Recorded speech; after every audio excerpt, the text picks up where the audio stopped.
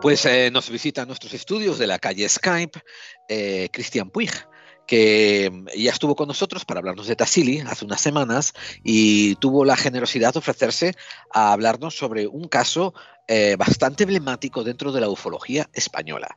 Hola Cristian, ¿cómo estás? Hola, muy buenas, un placer estar aquí con vosotros de nuevo. Bien, ¿cuál es el caso del que vamos a hablar hoy, Cristian? Que es un, repito, un caso emblemático y la gente que no lo sepa, aprovecharos para poneros al día. Bueno, es un caso muy famoso en España, eh, de los más recientes dentro de la ufología española. es un encuentro del tercer tipo que ocurrió en Los Villares, en Jaén, el 16 de julio de 1996. Es un caso, como digo, muy llamativo porque no es habitual que, digamos, ya por estas fechas más contemporáneas se vean eh, este tipo de, hechos, ¿no? De, visitantes, de, naves, de incluso que dejen objetos, en este caso unas piedras.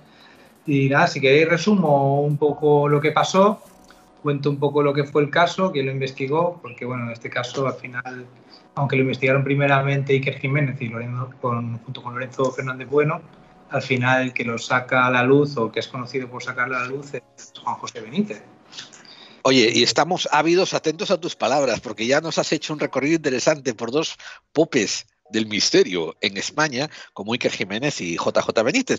Eh, entonces, ¿cómo, cómo, cómo empieza esto? ¿Cómo le llega a, los oídos de Iker Jiménez?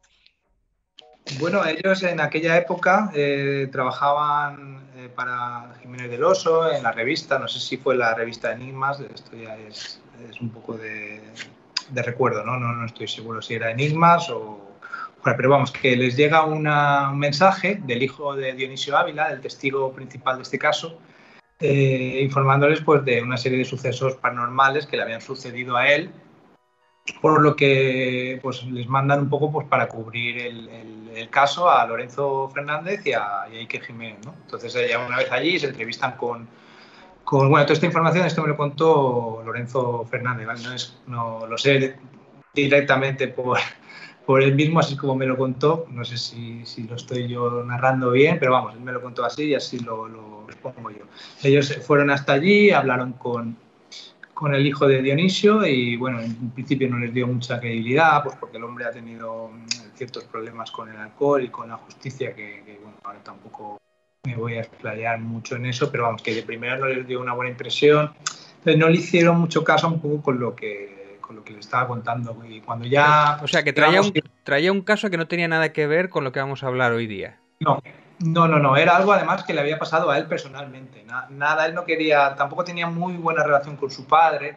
Pero bueno, sí que es verdad que le interesaban mucho esto, los, los misterios, los fenómenos paranormales. Entonces, pues le, apetecía un poco hablar de esto, salir en la revista. Entonces quería contar un poco lo que, lo que a él le había pasado como no le hicieron mucho caso, cuando ya iban, digamos que se estaban despidiendo de él y saliendo por la puerta, eh, pues ya el hombre se decidió dijo, bueno, eh, a mi padre también le pasó una cosa hace unas semanas y tal, y ya es cuando expone un poco el, caso de su padre.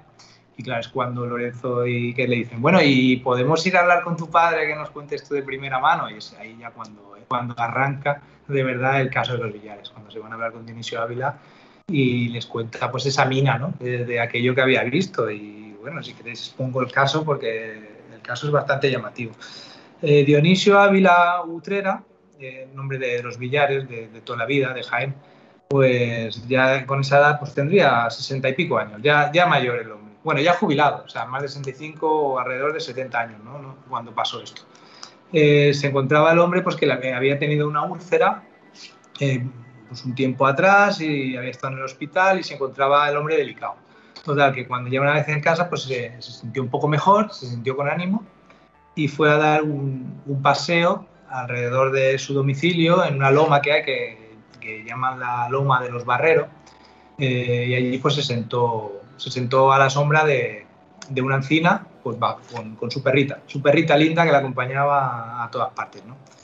Entonces, estando allí pues notó una sensación extraña y se percató que habían montado, pensaba él, eh, pues algún tipo de contenedor de estos antiguos, de icona. Pues el hombre curioso pues, se, se puso a examinarlo.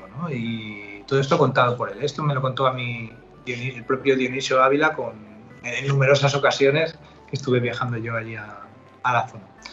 Total, que el hombre pues bordeó aquello y primero se percató pues, que estaba pues como en el aire, ¿no? Le, pareció que estaba como flotando y según sus palabras eso olía como a carburo. Total, que el hombre describe la, aquella cúpula, aquel contenedor y pues eso. Como Perdona, te, entendí bien. ¿Dijiste carburo o...? Carburo, como a combustible. Él, pero en sus palabras no utiliza otras palabras de las del testigo. Él lo denominó que olía a carburo. Sí, claro. Disculpadme, pero es que te, juro que te tendí canguro, ¿no? Y me quedé alucinado, pero vale. vale, vale, perdona, perdona, culpa mía. Sigue. Total, que el hombre, pues eso, describe la cúpula, dice que pues que es de color plata, ¿no? Y que en la cúpula tiene una cúpula encima, una pequeña cúpula con unos símbolos que él denomina palo cero palo. Podría ser un 1, un 0, un 1, como él decía, I o I lo, definió, digamos, estos símbolos de, varias maneras. También tenía como tres ventanillas, de, tres ventanillas de buey, pues como la de los barcos, y, poco más. que el hombre se quedó un poco extrañado. Intentó tocarlo, pero no se atrevió porque estaba, se empezó a, poner bastante nervioso pues, porque vio que aquello, lógicamente, no, no era normal ni era lo que él pensaba en un primer momento.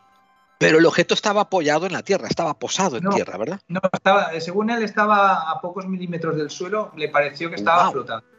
¡Wow! Mm. Ok, entendido. Y sí, de ahí es donde desprendía ese olor a carburo, decía él. Eso es fascinante, ok, vale. Sí, estos son, son los datos, ¿no? En total, que el hombre, pues, eh, cuando se, se, percata, se da cuenta de que ya no está solo, de que hay tres, tres seres allí, tres personas, ¿no? Hay, pues, dos hombres a los extremos, eh, dos mujeres, perdón, a los extremos y un hombre en, en, medio, ¿no? Que le están mirando fijamente y no, no le dicen nada. Todo que el hombre pues se, se, siente intimidado, es decir, me están mirando, van a pensar que soy un, un curioso, ¿no? Fíjate, el hombre al final racionaliza un poco esto y lo primero que le da a la cabeza es eso, ¿no? Que, decir, bueno, él, hay que decir que es que, claro, también es importante el sitio, ¿no? Porque es como una de un pueblo profundo. Él se le ve que es una persona de pueblo, de, que eso es importante matizarlo, que él no sabe leer o no sabe escribir, es analfabeto. O sea, eso también mm. eh, condiciona muchísimo la situación. Se encuentra algo raro que no sabemos lo que es.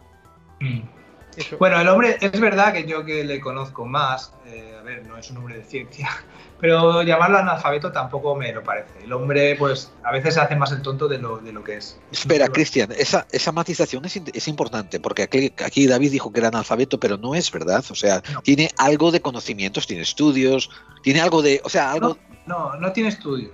Es verdad no fue nunca a la escuela. Eh, que sepas. Si, fue, no lo sé, si fue, pues iría pues a, los. Pues, pero está en este nivel básico de saber contar y saber escribir y leer, ¿no? Eso es, sí, lo justo. Él dice pues que no sabe escribir, y que no tal, pero bueno, que sí que se maneja en leer, sabe firmar y sabe, sabe lo justo y el hombre ha trabajado toda su vida y se ha desenvuelto muy bien. claro, claro. Y en lo que él hace, él es un manitas, en lo que él hace pues siempre ha tenido cierta arte en las manos, que bueno, luego sí. Y esto es muy importante para establecer uh, niveles de, ¿cómo diría yo? Niveles de apreciación intelectual, no vamos a decir coeficientes, pero digamos de apreciación intelectual del testigo. ¿Tiene arte en las manos? ¿Te refieres que hace miniaturas o hace cosillas o hace figuras o algo? A ver, pues el hombre, pues por sus trabajos siempre pues, se ha dedicado un poco pues, al carbón, o se ha dedicado a, trabajar con las manos, ¿no? Entonces el hombre se desenvuelve, tiene su taller, tiene en casa, ajá, ajá que, sabe hacer cosas. entendido. el hombre, pues, eh, en cualquier trabajo, en la huerta, lo que sea, se desenvuelve bien, ¿no? Es un hombre que, a lo mejor no tiene una inteligencia o una cultura general muy desarrollada, pero que tampoco es un inútil, ni un alfabeto, ni, nada por el estilo. Es decir, que, que, para lo que es el hombre de la época y los años que es y de, haber vivido en la España profunda, pues que, a ver, que sabe bastante y, y tal. De hecho, este hombre, pues el, es decir, tampoco el pueblo donde vive él es un pueblo tan, tan recóndito, está a pocos kilómetros de Jaén. Es decir, que, vale, quizá en esos años, eh, cuando él era, él era joven, pues sí que era un pueblo que no era un pueblo de paso, pero ahora es un pueblo dormitorio, donde vive bastante gente. y aclaremos una cosa, que estás diciéndonos hace 25 años más o menos. Más o menos. Eso, es, no hace tanto. sí, sí, no, ya era un jubilado, ya era un hombre mayor, un hombre de huerta y un hombre de Jaén, del interior, pero bueno, que no estamos hablando de, que está perdido en las urdes. Exactamente, que es una gran diferencia, una gran matización. Yo no lo decía tampoco como desprecio al, testigo, ¿no? sino más por saber a lo que nos estamos enfrentando. Yo, yo en otros podcasts, en otra información sí que hablaba de analfabeto, claro, si él mismo lo dice o tal, pero sí que el que sea analfabeto, semi-analfabeto, o que no sea precisamente, que no haya tenido estudio, no significa que sea tonto, ni mucho menos. Seguro que si ha sobrevivido y ha vivido bien y tal, se ha vivido bien, pues en, lo suyo, mm. para lo que él sabe, seguro que se ha, movido bien y ha tenido familia y todo eso. O sea que eso no significa. Otra cosa es que entienda o no lo que se ha encontrado. Que eso no, eso da igual que sea analfabeto o no, eso puede ser un científico y de pronto un día te encuentras algo que no entiendes y lo interpretas de una manera que es la mayoría de los casos ovni, ¿no? Claro, yo por eso digo que yo no lo consideraría analfabeto, porque es verdad que se tiende a hablar de eso un poco por, por, darle más credibilidad al caso, de cómo va el hombre a inventarse esto, o cómo va el hombre a desarrollar, a fabricar esas piedras, que bueno, ahora hablaremos de ellas, cómo va a hacer ciertas cosas siendo analfabeto. Bueno, pues a ver, eh, aunque, lo, aunque lo hubiera sido, podría haberlo hecho, para empezar. Sí, claro, claro que sí. tampoco, en mi opinión, tampoco lo, lo era. Es verdad que pues, los, estudios, los estudios quizá más básicos que puedan haber o no los he tenido, pero por los años de experiencia, haber trabajado durante tantos años toda su vida, pues ya sí. Es que no se le puede llamar tampoco analfabeto porque no ha estado aislado del mundo. Y ojo, ojo, no tampoco, tampoco hagáis el paralelismo analfabeto con, carente de conocimientos. Yo cuando hablé de analfabeto era simplemente por instrucción, ¿eh? y, lo has clarificado de que él sabía leer y escribir básicamente, y que incluso sabría algo de matemática básica. Pero vamos, vamos a volver otra vez al, al, testigo, ¿no? No, no, yo no puedo afirmar que, que seguramente sí, yo que él sepa leer o escribir, evidentemente lo más básico, porque sí sabe claro. más, sabe, pues habrá firmado el nombre de sus hipotecas y tal. Es decir, que el mínimo, el mínimo yo creo que sigue que lo alcanza. sí, sí. No puedo afirmar realmente hasta, hasta qué punto. Pues no, no, entendido. A ver, reconociendo una vez más la narración de, los eventos, ¿no? Tú dijiste que se encontró con tres personas, o sea, tres entes y dos que parecían mujeres, uno hombre. Y dámonos algunos rasgos descritos por él, ¿no? Acerca de la apariencia física, un poco más de detalle eran totalmente humanoides, quiero decir que eran, podían haber sido humanos perfectamente por lo que el hombre describía. Lo único que era muy extraño, porque iban vestidos con un traje muy ajustado y brillante, plateado, igual que la cúpula. Eh, iban pues, cubiertos hasta, digamos, por la cabeza, pues como un buzo. Él los describía como trajes de buzo, ¿no? Pero muy ajustados y llamativos porque eran de color plata. Por eso él distingue mujeres con la del hombre, ¿no? Pues por, esos trajes tan ajustados.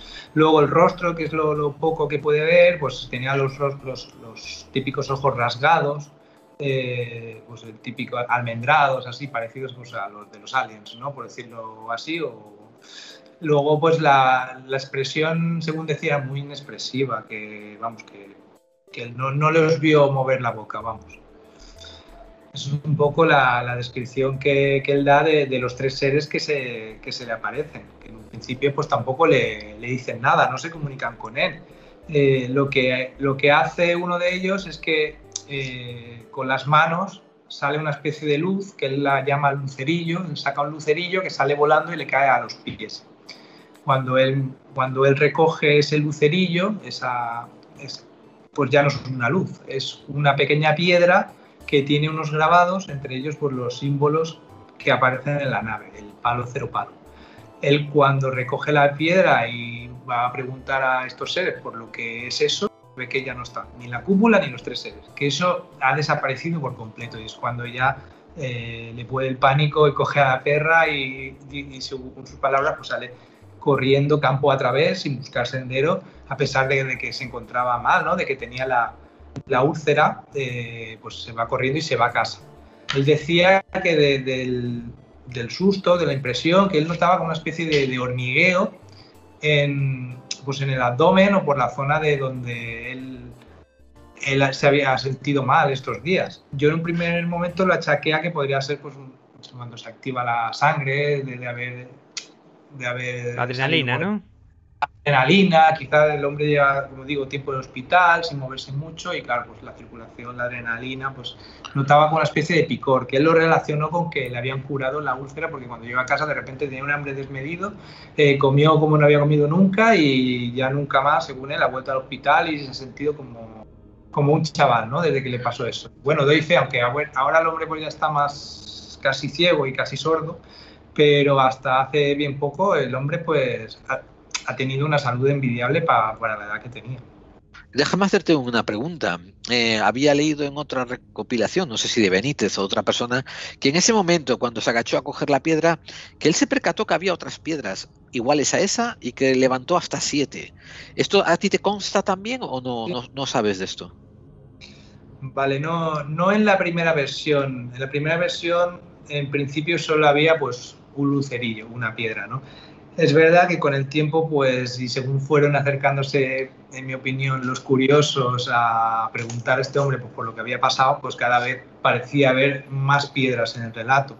Porque a mí me contó la primera vez que fui que cuando se agachó eh, no solo estaba el lucerillo, había siete piedras.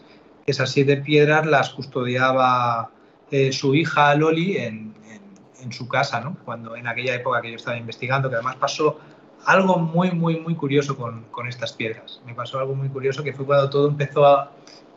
Eh, en mi punto de, bajo mi punto de vista, ¿no? para mí todo empezó un poco a cobrar sentido con estas siete piedras.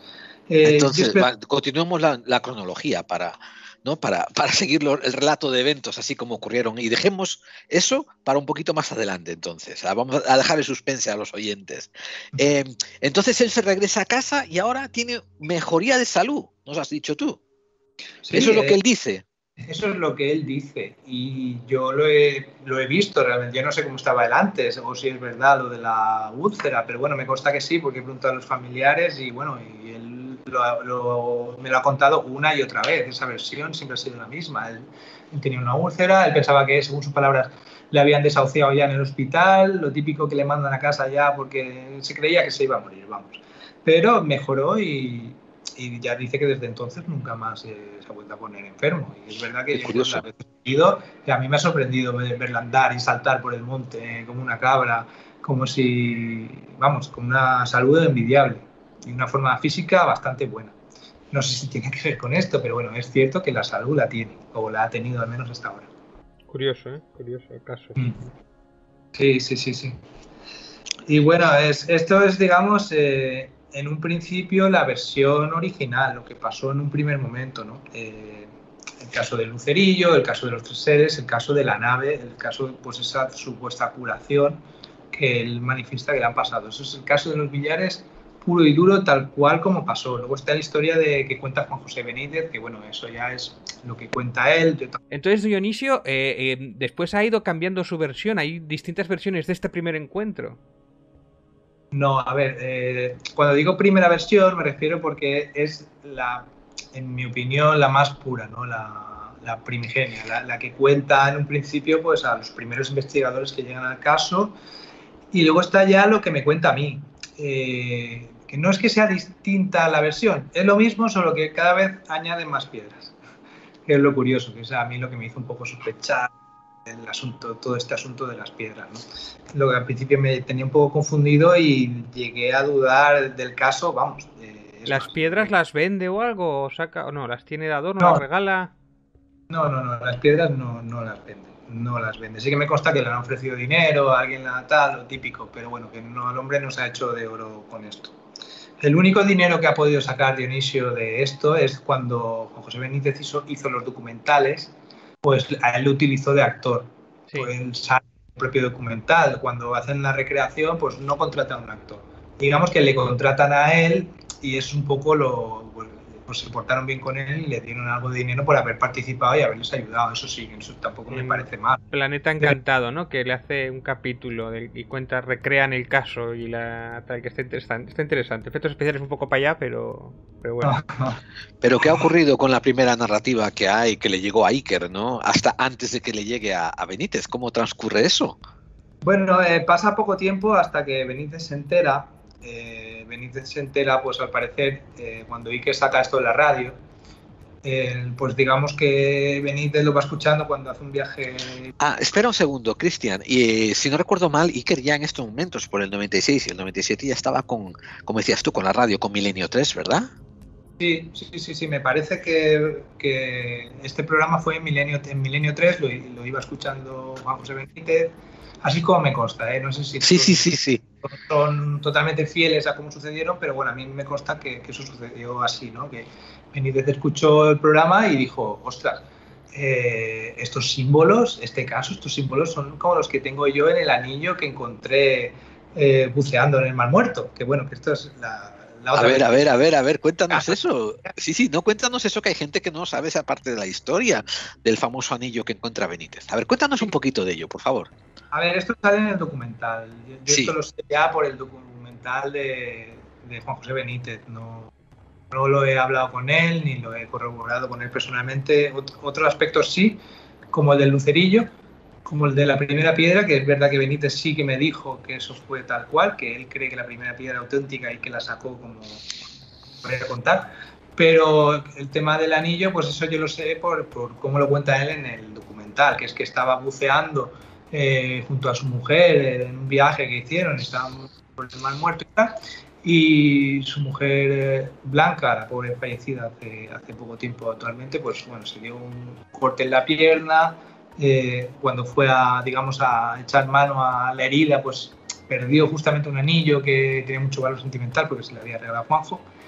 Y, y, entonces, pues Juanjo se puso a bucear pues, por la zona a ver si encontraba el anillo pues, que había perdido la mujer, porque estaba bastante, bastante afectada. ¿no? Bueno, ahí pasaron una serie de cosas extrañas que tampoco quiero desvelar, hacer tanto spoiler del documental, que ya tiene unos años. Pero vamos, Benítez al final acaba encontrando un anillo con estos símbolos, el palo cero palo, que le resulta muy curioso pues, por la forma que le había encontrado y lo relaciona también con el caso de Ricky B originariamente, porque ellos se encontraban, que es otro caso de infiltrados extraterrestres, que si queréis más adelante podemos hablar de este caso, porque esto también lo he investigado ah, en profundidad. Pero bueno, lo dejamos ahí, en el aire. Entonces, él lo relaciona con ese caso porque se encontraban allí, digamos, por ella, ¿no? como, como de vacaciones, por, por, eh, porque el hombre estaba saturado. O sea que este a JJ le gusta relacionar casos así. Sí, eh, a, ver. sí, sí. No, no. Para mí, Juan José Benítez es, es, un grande, es decir, no me gusta hablar mal de nadie ni criticar a nadie, ni creo que. Lo que pasa es que, bueno, hay que reconocerle que, que es muy buen escritor y, y sabe vender bien los fenómenos paranormales, el misterio, los casos que ha investigado. si la ciencia ficción se le da bien a JJ, yo sí sabe cómo, sabe cómo relacionarlo. No sé si es ciencia ficción o no, porque es verdad que yo los casos que he investigado, que ha investigado él, pues a ver.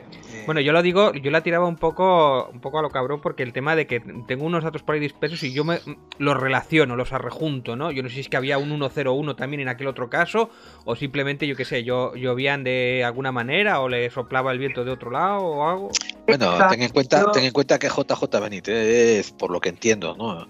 Desde, desde los años 80 cree en que el universo, es en plan Pablo Coello, ¿no? De que el universo conspira con él para, para llevarlo a eso, ¿no? Que si tiene fe, el universo conspira para traerte lo que tú esperas. Bueno, como lo del secreto, ¿no? Algo así, si tú lo deseas. Sí, sí, eso me refiero, ¿no? Ya. Eh, que, ah, que, el secreto, otra parte también, que a lo mejor también está inspirado en el libro de Durantia, el secreto, vete tú a saber, ¿no? Bueno, sí, a ver, él, digamos que sabe relacionar bien los casos. Para mí está un poco claro. con tanto el tema de Ricky B como el del Tassili posteriormente, que también lo relaciona con esto y con estos símbolos, está un poco metido con Cazador. Para mí es una buena obra de arte, una buena obra literaria y es una manera de, también de, mostrar a la gente el misterio y que sea legible, ¿no? que no sean casos sin más. Que es su estilo. no os preocupéis, audiencia. Hacia el final, Cristian ilvanará y explicará ¿no? la conexión de Tassili y de Ricky B. ¿ok? Pero por ahora manteneros al vilo, atentos a sus palabras. Pues Entonces le llega, le llega a JJ Benítez a través de Iker, ¿no? La relación del caso de los Villares, y él acaba de decir, ¡ostras! Esta piedra es la de mi anillo. ¿Y qué ocurre a partir de aquí? Pues nada, que digamos que de alguna manera se pone en contacto con Iker Jiménez y con Lorenzo y. Sí. Cuando eran amigos. Sí. aún son amigos, ¿no son? bueno.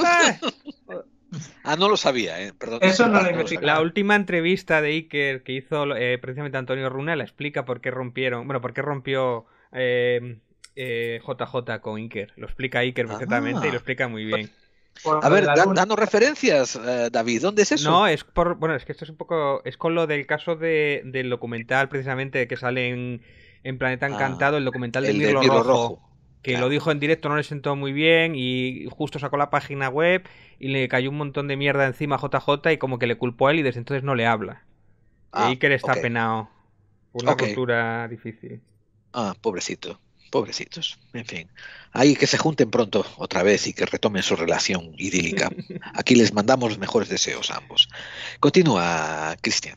Sí, porque al final estamos hablando más de los investigadores del caso que del caso en sí. Sí, sí. ¿Cómo que hablando mal? Estamos, estamos analizando los pasos tomados. Hablando más, hablando ah, más. Bueno, y mal también, tampoco pasa nada, ¿eh? Hablando mal tampoco. que yo, yo creo que ahí que lo que mejor que le puede pasar es no volver a juntar con JJ, ¿eh? Así lo digo. Bueno, bueno. Y nos vas a dejar a nosotros sin tener salseo verde. Por Dios, no puede ser. salseo verde, me mola eso. O salseo gris de alienígena, bueno, no sé. salseo gris. Eh, Cristian, por favor, te estamos robando protagonismo. Es que no puedes competir con J y con Iker, ¿eh? Lo siento, chico. A ver, continúa. No es mi intención competir, la verdad. Siempre me he querido mantener al margen y sí, sí porque creo que he llegado, en mi opinión, más lejos investigando esto por mi cuenta y sin relacionarme con nadie que, pues, juntándome pues, con, personajes más mediáticos que al final pues uno tiene que vender lo suyo, ¿no? claro, este claro. sí, haces bien.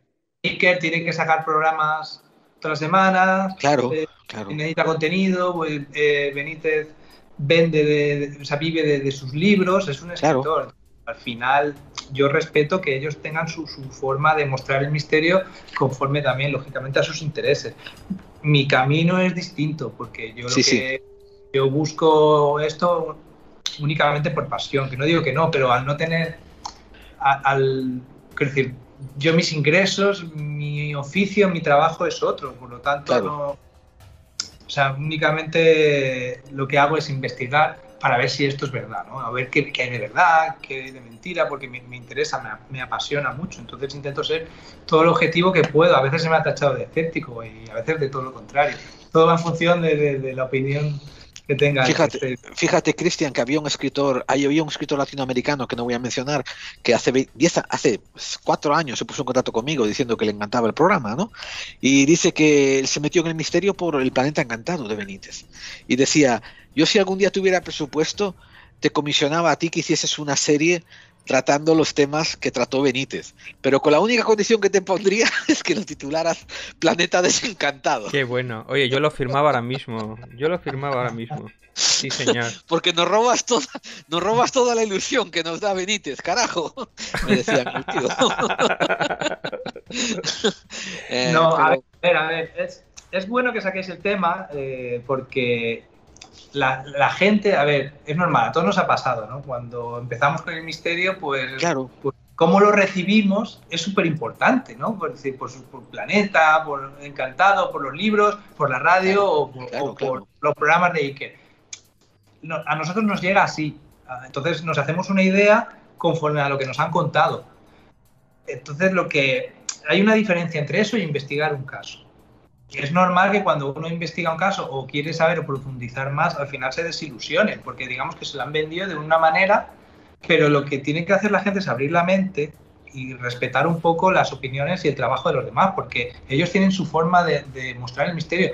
Y tiene que haber de todo, porque si no fuera por Benítez, yo, por ejemplo, tampoco me hubiera a lo mejor eh, involucrado en tantos casos. claro, claro. Y una, y una, generación entera, JJ Benítez, una generación entera hace falta un, JJ Benítez que nos enganche, o hace falta un Iker Jiménez que, nos mantenga actualizados todas las semanas con cosas. Y, claro que sí es necesario, pero luego está lo que cada uno, cada uno busque hasta donde se quiera comprometer con esto. Entonces, claro. Yo creo que no está bien juzgar el trabajo de los demás porque todo tiene su parte buena y su parte mala. Seguramente lo que hago yo también y seguramente estoy también equivocado en todo esto, porque estamos hablando de misterios que parece que son cajones de desastre donde todo vale. Entonces nos permitimos el lujo de especular hasta donde nosotros queremos, hasta donde nos llegue la imagen. Lo, que pasa es que, claro, tanto JJ como Iker son periodistas, o sea, tienen una carrera, tienen una formación y hay algo que deberían de respetar siempre, sobre todo JJ, que es el tema de las fuentes, o no, o desvelar las fuentes, o muchas cosas que que dices tú que lo que están vendiendo no es periodismo, pero van de periodistas muchas veces, o están vendiendo otra cosa. Entonces ahí hay una confusión, hay un amalgama que, que a mí me gusta precisamente separar el trigo de la paja. Y de hecho, eh, joder, eh, precisamente de, donde tú vienes, o de, esta gente de Manuel Carballal, o de, David, eh, David Suárez era, ¿no? David, David Cuevas. David Cuevas, precisamente, sois especialistas en eso, en investigadores de verdad, y hacéis un trabajo que precisamente se dedica a eso, a separar el trigo de la paja, cosa que ellos, y que ahora últimamente parece que algo más, y me alegro, pero a JJ le interesa otra cosa, está como en una nébula, está en una fantasía, y bueno, si tú si la gente sabe eso, me parece bien, pero bueno, viene, vamos, a, continuar porque es que si no esto parece ya el cierre del programa, ¿eh? Venga, a ver, y después hablamos más del tópico. Eh, entonces, me estabas diciendo tú que le había llegado esta información a, JJ Benítez y que él se va a entrevistarse con, Dionisio, ¿verdad? Sí, eso es. Eh, y ahí es cuando pasa pues algo muy curioso, según me contó Lorenzo Fernández, ¿no? Que estaban en, el domicilio de, de Dionisio Ávila y eh, Benítez, pues con, su talante que le caracteriza, su seriedad, ¿no? Pues le hizo a, Dionisio contar la historia hasta la saciedad, una y otra vez y otra vez durante horas. Estaban los pobres, me contaba ya aburridos, con sueño allí. Y ya cuando Benítez se cansó o decidió ya que era suficiente, pues cogió y sacó el anillo allí delante de todos, que hasta ese momento nadie lo conocía, y es cuando dijo que, eh, le preguntó a Dionisio si esos símbolos que había visto en la cúpula eh, eran los del anillo. Entonces eh, Dionisio cogió de repente, se levantó sin decir nada, se fue hacia el interior de su casa y sacó una piedra, la llamada la del lucerillo, la de la parte del lucerillo. Ya contó esta historia que hasta entonces esa parte tampoco la había contado. Entonces digamos que la versión de las piedras, incluso desde el primer momento, ha ido evolucionando. En un principio, pues ya cuando llegó Benítez, cuando aparece por primera vez el lucerillo, con esos símbolos exactamente iguales a los de la nave y a los, de, y a los del anillo de, Benítez.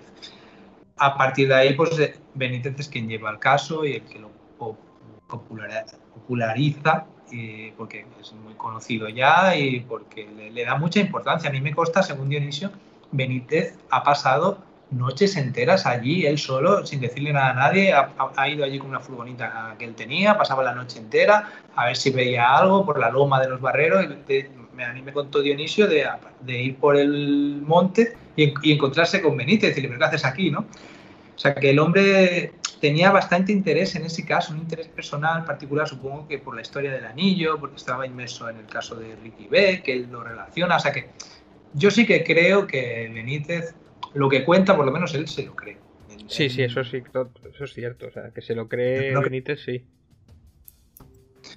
Y eh, eso fue, digamos, el, caso original. Cuando yo llego ya, porque yo empiezo a investigar el caso en 2004, que es cuando yo me empiezo ya a mover en estos temas, que ya, bueno, pues cuando ya me empiezo yo a implicar, ¿no? Porque ya hasta entonces, pues había sido pues, un, un, curioso del misterio, pues como cualquier otro, pero cuando ya decido dar el paso, dar el salto, pues acudo pues a los billares y trato de, por lo menos indagar un poco, a ver qué puede haber de verdad, qué no, pues y el hombre pues me abrió las puertas de su casa, él y su familia, y me trataron bien y me contaron todo. Y ya cuando Eso, eso hay que chapó porque, hostia, que te vengan, ¿cuánta gente le habrá ido a visitar para raíz del programa y que la gente abra la puerta y atienda a los investigadores y tal? Eso chapó, ¿no? Por, la, por esta gente, ¿no? Bueno, a Dionisio le gusta, ¿eh? A Dionisio le, gusta mucho llegar allí, contar la historia, eh, sentirse querido. el hombre, pues eso, es un jubilado que, que, pues, tiene tiempo libre, pues estaba en su casa y le viene bien, pues entretiene. Tampoco es que fuera la gente todos los días, pues algún fin de semana iban unos, iban otros. Pues entre esa gente iba yo. Y la verdad que lo que pasa es que yo digamos que me quedé durante unos años eh, yendo con bastante asiduidad y por una cosa que me pasó, que bueno, ahí sí que me gustaría explicarlo eso con detalle porque es que lo que he contado no es nada con lo que con lo que se viene ahora, ¿no? Esto digamos el caso. Nos, tienes en vilo, tío. Sí, sí. Claro, todo viene por lo de estas piedras. Eh, o sea, tú las has visto, ¿no? Las has tenido delante, las has tocado. Sí, sí. Eh, no solo eran esas siete piedras que hablábamos en un primer momento, que cuando él se agacha ya no es solo el lucerillo lo que hay, sino que hay siete piedras aparte del lucerillo. Que bueno, yo le pregunté, a Benítez le pregunté por esta cuestión y Benítez me contestó que él, él, él cree que la primera piedra era auténtica, que lo demás ya no, ni siquiera las otras siete. Por lo tanto, cuando él investigó el caso, esas siete no existían. Yo cuando fui en 2004 ya existían esas siete, esas siete y muchas más, porque él tenía muchas más piedras en su casa, muchísimas más. Con un cuadro entero que formaba... Eh, eh, que había encontrado en el campo.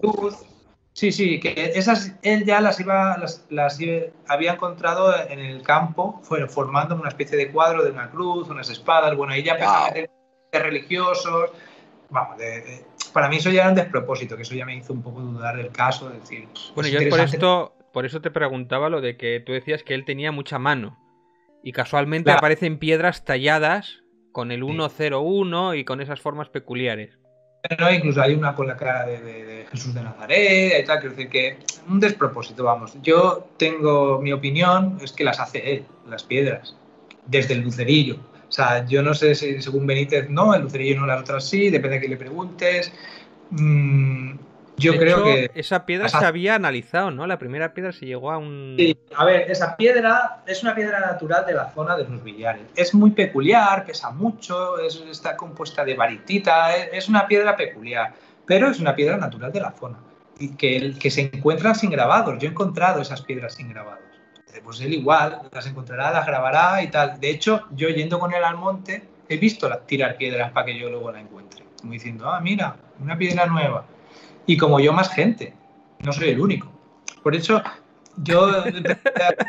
oh, mira una prueba aquí y te la deja él y cuando ahora que no miran, algo así. Claro, eso es. Como, plan, como... Qué bueno. De repente, anda, mira, mira, eso lo has encontrado tú. Yo qué sé, pues eh, no, la verdad que no.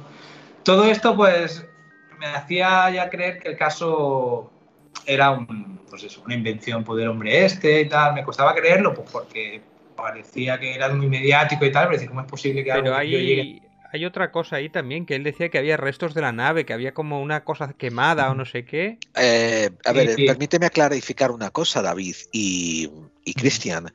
Eh, eh, en Jaenpedia, wikanda.es, una página ¿no? que habla de este avistamiento desde el punto de vista de Jaén, información sobre Jaén, habla de un segundo y un tercer avistamiento. un segundo avistamiento unos pocos meses después y un tercer avistamiento en el 2010.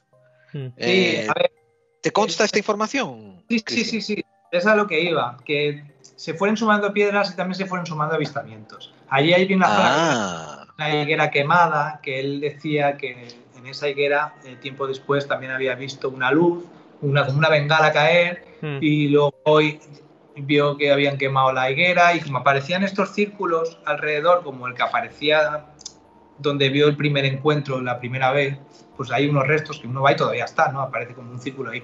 Esos círculos son de, de las hogueras que hace, porque todo eso es una zona de, de olivos. Entonces, pues la, gente de, allí, de que trabajadores del campo, pues luego queman sus hogueras, queman leña y esos círculos que quedan son de eso. Pero el hombre pues la achaca, como vio lo que vio, ya todo la achaca que es eso. Allí quizá esa luz, esa bengala fue una bengala real, incendio fue de esa bengala. O una estrella, sí, una estrella fugaz o lo que sea, porque todo el mundo sabe que los ovnis necesitan carburo y queman y dejan restos porque tú cruzas el hiperespacio, te vas a otro sistema solar, pero dejas eh, olor a carbono, o sea, a carburo, porque tiene toda la lógica del mundo, claro. Pero para él, supongo que para su percepción los alienígenas serían así, más en aquella época. Claro, claro, claro. Entonces, eh, a ver, a mí me parece que hay gente que, cree en estos avistamientos igual que en el primero, y bueno, yo no puedo ni afirmarlo ni desmentirlo. Yo digo mi opinión. Mi opinión es que las piedras las, hacía él y que estas apariciones no creo que él se las inventara, sino que vio cosas y ya relacionó. Lo que pasa es que él decía que después de esas apariciones encontró el resto de las piedras. Entonces, entre que a mí el lucerillo lo sacó tarde, las siete piedras ya me las sacó a mí más tarde, que, más tarde, que también supuestamente habían aparecido en el primer encuentro y según Lorenzo y Benítez no. Eh, y luego ya empieza a sacar otras piedras que han aparecido después de esos dos encuentros, pues ya me parece que el hombre lo que le pasó en mi opinión, es que el primer encuentro fue real, no sé si físico o no, o mental. esta, esta es mi duda y ahora os diré por qué. Pero sí que es cierto que lo que ocurrió después fue debido a que el hombre cogió cierta popularidad, le gustaba tener eh, eh, historias que contar y esa historia pues se agotaba. Había que seguir ampliándola en el tiempo pues, para tener algo que Porque lo de... Yo había leído que también que el, había estado con una vidente que tenía poder y se había dicho que iban a volver esos seres. Entonces como que ya estaba sugestionado y le vuelve a ocurrir una especie de acontecimiento, pero sale corriendo. No sé si estaba sugestionado. Sí, que eso, eso, está, eso está asociado con el segundo avistamiento, exactamente. Sí, es que ahí ha habido mucha gente a raíz de, sobre todo a raíz del, documental, pues que ha contaminado un poco el fenómeno. Yo intenté Oye, Cristian, si no recuerdo mal, también, ¿no? El documental de Planeta Encantado salió al, a los pocos años de esto, ¿verdad? O sea, al avistamiento en sí, porque el avistamiento fue del 96. Y después en el, entre, digamos que en el 98 o el 2000 aparece Planeta Encantado. O sea que era muy contemporáneo. 2002, en el 2002 Planeta Encantado. está en YouTube, por cierto, la podéis ver entera. ¿eh? Sí, sí, gracias por la corrección, pero, o sea, fíjate, 2006, digo, 96 al 2002, eh, ocho años. Mm. ¿No? Seis años. Pero bueno, el, caso es que eh, sí, no pasa mucho tiempo. Y como digo, es que es un caso bastante contemporáneo. Sí, sí, De, los 70 y, los 80, eso sí. Pero Exactamente. De, los años 90, de ya de cerca del 2000, no, no hay mucha cosa, no hay casos tan llamativos. Y, oye, ¿y Benítez siguió asociado con el caso después de, de Planeta Encantado o se desentendió? No, después ya no. Tenía algún contacto con Dionisio telefónico de vez en cuando, estaba un poco al tanto de lo que pasaba en los billares, pues un poco como yo ahora, que tengo mis contactos allí y me sigo enterando de lo que pasa por la zona, pero, pero no, ya no iba por allí. Al menos yo cuando iba yo, él, en el 2004, él ya no se le veía por allí. ¿Y los billares es considerado una zona de alta extrañeza, de mucho avistamiento? ¿O más o menos? más o menos más o menos. Como en España, en esas zonas, pues eh, en Andalucía se ven ovnis en todas partes. Entonces, pues, allí, allí, también. La verdad que no creo que sea un punto caliente de... No, no es. Entendido. No es como las urdes, por ejemplo, ¿no? Que es... es que además hay una cosa peculiar que le ocurre a, la luz del día, a las 12 del mediodía, a él solo, en plena luz. Y es una cosa rara porque normalmente suele ser de noche o suele ser algo así y tal si conoces la zona no es tan raro, porque tú puedes estar bien, eh, es una zona que no es llana, es como de monte y hay mucho montículo y tal, que a lo mejor tú estás en un punto y hay personas al lado y no te ven lo que, lo que no ve lo que está pasando ahí, ¿no? Es, es una zona bastante curiosa y está a 500 metros del pueblo donde pasó este habitamiento, que, que es nada, que, que son 5 minutos.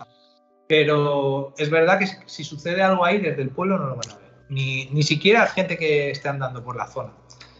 Entonces es curioso, pero sí, fue a la luz del día, fue como a las 12 de, que mediodía. Hay otra cosa que me llama la atención es 101, que es digital, eso, que, oye, para ser alienígenas, que sean código binario, oye, pues tendría, podría tener hasta su lógica, que es el número 5.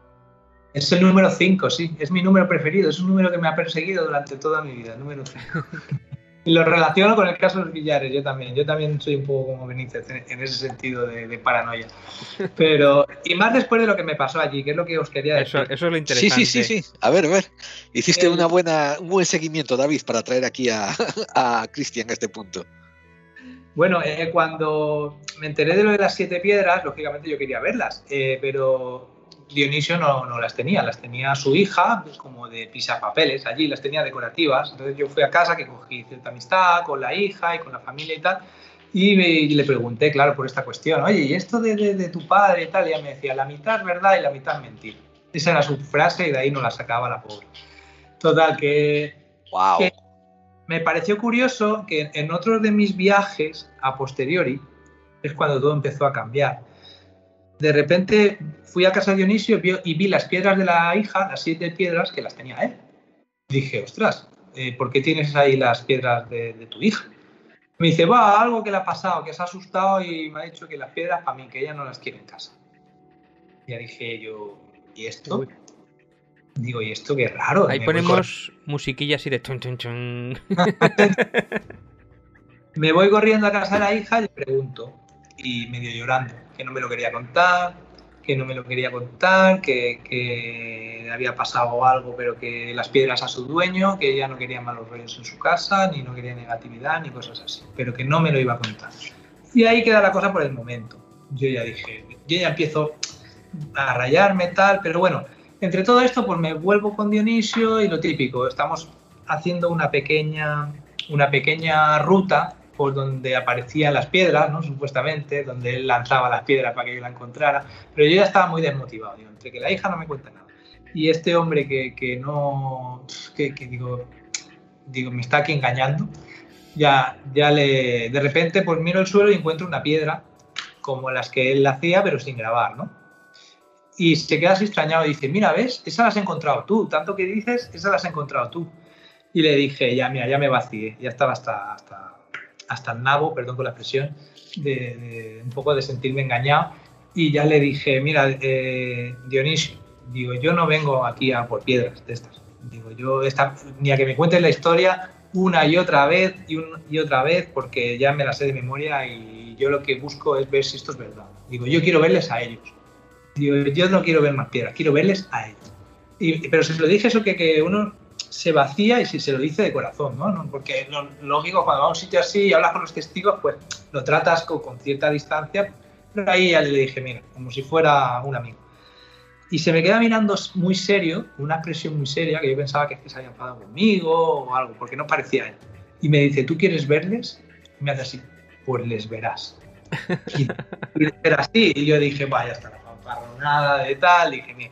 Y empieza, venga, va, vámonos de aquí, que se va a hacer de noche, a ti te queda un viaje muy largo, eh, te tienes que ir hasta casa, tienes cinco horas de camino, a ver si puedes, puedes pillar algo de luz y me iba empujando, ¿eh? me iba como empujando con la mano y yo diciendo, guau, eso es que lo he ofendido, el hombre quiere que me vaya porque en ningún viaje había tenido ese comportamiento. Nunca, al contrario, quería que me quedara y quédate a dormir en mi casa y no sé qué, y siempre así. Nunca había querido que me fuera.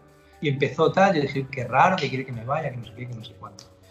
Total, que cojo el coche y me voy. Iba con, con una chica que me acompañaba en, en esa época, íbamos ella y yo en el coche, y, a pocos kilómetros de Úbeda, antes de llegar a Úbeda por la carretera, pues algo me deslumbra en, en, el cielo, ¿no? Sí, sí, mira, el pelo de punta. Eso fue el puente, eso fue el 6 de diciembre de, de, 2000, de 2004, el 6 de diciembre de 2004 sobre las 6 de la tarde. Pues. Y era todavía de día, se estaba poniendo el sol y de repente pues algo me brilla en el cielo y miro, lo típico, y me pareció un globo de esos de los niños que se escapan, que van como volando, pero muy lejos. Y de repente, digo, claro, me fijo y me fijo porque empieza a brillar, empieza a brillar fuerte. Ostras, digo, y le digo, mira, mira el globo ese. Y cuando le digo a, a, a la chica que iba conmigo, dice, ¿cómo que un globo? ¿Eso qué es? Y de repente el globo empieza a moverse en forma de 8 y empieza a esconderse detrás de una nube. Y empieza boom, a hacer un, una forma con todo el rato en forma de 8 horizontal. O sea, el, digamos el símbolo del infinito. Pero así, todo el rato, ¿eh? durante minutos. Hostia, pero, yo, pero eso tiene que acojonar, no es por nada, pero yo, en ese momento yo estaría cagado. Claro. Tuve que parar el coche. O sea, yo estaba súper nervioso. O sea, ya íbamos en el coche en plan, en plan, ¿pero eso qué es? Y me decía, pero mira la carretera, mira la carretera. Yo que no podía ni mirar la carretera, yo iba mirando eso diciendo, ¿qué, qué, qué es eso? Digo, ¿qué, ¿qué está pasando? Total, que cuando paro a los pocos kilómetros, en una gasolinera, paro, mira, me bajo del coche y me temblaban las piernas. Claro. Porque, claro, yo la primera vez que me encontraba con algo, con algo así, porque sí, iba a investigar a ver si esto es verdad, si no es verdad, pero cuando ves, cuando ves que, que un hombre te acaba de decir 40 minutos antes que voy a ver algo y me encuentro con eso de camino a casa, después de que el hombre me dijera, vete, coge algo de luz, coge algo de luz. Cuando, de día, una cosa, cuando te dice eso, ¿estaba también la chica o no? Sí. Sí. O sea, estabais los dos, podría decirse, entre comillas, que estabais los dos sugestionados. Sí, pues sí, podría ser, perfectamente. Podría ser. Sí que es verdad que, que, bueno, ya una vez en el coche, todo esto, claro, yo todo esto lo, lo relaciono a posteriori. Claro, yo iba en el coche y ya estaba pensando al día siguiente trabajo, a ver si yo a qué hora llego, por lo típico. Ya no estás pensando ni siquiera en eso. Aparte, yo ya había ido muchas veces. Ya no, no, no es esa como ese primer viaje que vas, que a lo mejor sales alucinado ahí con la historia. Ya. Ah, yo, yo creo que ya no iba a volver más, porque no, ya me iba muy desilusionado, ya encima como mal, el hombre esté diciendo que me vaya, tal. O sea, que no, no iba yo con esa sensación de, de sugestión, pero bueno, no, al fin y al cabo venía de pasar un fin de semana allí, un puente, y, y sí, podría estar totalmente eh, sugestionado, ¿por qué no? Pero vamos, aquello lo vimos, aquello lo vimos, los, que, que, fuera un ovni o no. No, un ovni era. un ovni era. claro. que fuera algo paranormal o no, claro, eso yo no lo sé. Pero, pero mira, algo dentro de mí me... O sea que... No es igual.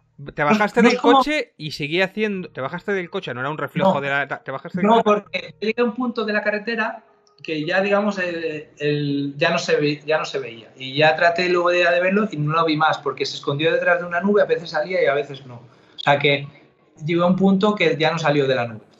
entonces yo ya seguí, intenté mirar y cuando ya dejé de verlo paré y lo típico, que no me di cuenta de lo nervioso que estaba hasta que no bajé del coche y, eso que digo, es que me tiemblan las piernas, que no, no puedo sostenerme de pie. Y esa sensación yo no la he tenido nunca más. Es decir, he visto cosas raras, he podido tener situaciones, pero esa sensación de, que todo tu cuerpo es como si es un shock mental. decir, porque yo, yo, siempre me he considerado que, que, creía en esto hasta que viene, hasta que vi lo que vi y dije, ah, pues yo no creía. lo que pasa es que, porque si hubiera creído en esto no me hubiera impactado tanto esa visión, ¿no? Y ya es cuando empiezo a, a relacionar con lo que me, me, ha dicho Dionisio, con lo de que los iba a ver, total, que cojo y le llamo. Cojo, le llamo por teléfono y se, se puso a su mujer, que ya también falleció hace unos años, después de esto tuvo Alzheimer y, y falleció bueno, se puso y dice, sí, y digo, oye, que soy Cristian, tal, eh, quiero hablar con Dionisio, sí, sí, ahora se pone. Total, que se pone, le digo, mira, Dionisio, perdona, he dudado de ti, tenías tu razón, mira lo que acabo de... Yo ya estaba flipado, yo estaba flipado. Digo, mira lo que he visto, mira lo que me ha pasado, ¿no? Digo, ¿cómo es posible? Tú me acabas de decir que los iba a ver y dice, ya, ya lo sé. Me cortó así en seco. Digo, ¿cómo que ya lo sé? lo mismo, no parecía él. Era otra vez el de cuando me dijo, ¿quieres verles? Porque verás. Era como no era su, forma de hablar habitual. Y muy seco y muy cortante. Dice, ya, ya lo sé. Dice, te van a estar siguiendo todo el camino hasta casa para, para protegerte. Vais guardados. Esa, era, esa fue su frase para decir que vais como escuchados, como que vais tal. Dice, vais guardados. Eh, ahora, también te digo que no nos vas a ver más. Así como los has visto ahora, en todo el viaje ya nos vas a ver más. Eh, dice, ahora va, ya, ya cogéis la noche. Y como, él, como que él sabía que lo íbamos a ver durante ese poquito de luz que me quedaba de viaje y, lo entendí porque esas prisas y luego por la noche no. Total, que ya. Y cogió y dice, ya no vas a ver más. ¡Pum! Y me cuelga el teléfono. Y ahí hago la conversación, claro, el camino. No sé qué, claro, a fin de semana yo estaba en los billares otra vez. Y así otro, y otro, y otro. Y ya empecé yo a, viajar allí, a, indagar, a, a gastar toda mi energía y decir, ostras, si yo que no soy nadie he ido aquí preguntando cuatro rato los billares, este hombre me dice esto y si me aparece un ovni, digo, que hay detrás de todo esto? Claro, yo en esa época también era más joven, tal, y yo, a mí eso me impactó. Y empecé a investigar no solo eso, sino todo el tema ovni con profundidad porque me, me, marcó aquella visión. Ya empecé a ver que los billares, pues había cosas raras en la huerta. Un hombre me acuerdo que me enseñó un rábano gigante que le había crecido en la huerta cosas ya digo, hortalizas gigantes, no sé qué. Eso, es muy típico, eso es muy típico del fenómeno, ¿no? Que salen las revistas, hay pepino gigante encontró la huerta y al lado de una noticia ovni o algo. La cara de Elvis Presley, una tostada. sí, sí, sí. Ah, se, decía en esa época, antiguamente se decía que tenía relación. Entonces me pareció curioso, eh, justamente el fin de semana después que volví, encontrarme con eso, ¿no? Un, hombre que, que, me sacó, me llevó a su casa, mira, mira lo que. Me enseñó varios rábanos gigantes, habían presentado un concurso, no sé qué. Bueno, historias raras allí. Y ya empecé un poco a indagar y a meterme en la familia. Y ya empecé a ver qué pasaba con todo el tema este de, de lo de las piedras de, de Dionisio, ¿no? Esas siete piedras, porque las devolvieron. Resulta que un familiar muy joven, que no puedo decir quién es, porque no, la familia no quiere saber nada de esto y, y no, no quieren que esto salga a luz ni que trascienda una cosa es lo que cuenta el abuelo y otra cosa es lo que pasa en la familia. Y es cuando dije, uy, igual esto es el caso de los billares de verdad y no como nos lo han contado en un primer momento. Y ya empecé a ver que es que por la noche a esta persona muy joven, era una niña muy pequeña, se le estaban apareciendo en, en la habitación pues algún tipo de seres. Unos buenos que le hablaba sobre las estrellas y otros no tan buenos que se intentaban llevar y la pobre niña pues se me daba en la cama. ¿Visitantes de dormitorio? que a la niña? Visitantes de dormitorio. Y la, y, la hija de Dionisio relacionó estas apariciones con las piedras de su padre. Que, pensaréis, ¿por qué? ¿Qué tienen que ver las piedras de su, de su padre o del caso de los billares con el tema de visitantes. Total, que pasa el tiempo, conozco al hijo de Dionisio, que fue el que puso eh, se puso en contacto con, con Iker y con Lorenzo Fernández en un primer momento, y ya me empieza a contar un poco toda la historia. Resulta que en su familia, desde que él era niño, recibían visitas, él y sus hermanos, de visitantes de dormitorio que, le, según me contaba, le pegaban hasta palizas. Y siempre le había relacionado que esos visitantes los atraía a su padre, los atraía por lo que sea. Él lo pensaba, o por lo que sea, en su familia hay como esa idea de que los trae su padre, ¿no? Total, que luego me enteré que su hermana, que es la que le pasó esto en su casa, pues también le, le sucedía y vio que esas apariciones ya estaban pasando a otra generación. Entonces, cuando quiso cortar un poco lazos con todo esto del misterio, las piedras y todo eso, por no introducir este asunto de visitantes en, en la familia, ¿no? No, no, que no siguiera, digamos, esa faceta que tenía la familia de haber recibido visitas de, de, esos, de esos seres durante generaciones. Quería cortarlo y por eso, digamos, devolvió las piedras a su dueño. Es que hay que decir que lo de las visitas de dormitorio es un, es un trauma. O sea, hay, hay visitas o cuando ocurre de esto y sobre todo habitualmente de duras muy duras, lo que tú dices, que reciben palizas o reciben golpes o reciben incluso violaciones o bueno, de todo tipo, hay algunas más o menos agradables y tal, pero normalmente lo pasan muy mal, sobre todo cuando no entienden el fenómeno, que puede ser lo que es la parálisis del sueño.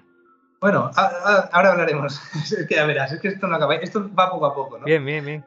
Yo he hablado luego con testigos, incluso amigos míos que han ido a, también a los billares, así como un poco pues, como curiosos del tema e incluso que han pasado la noche en, casa de Dionisio.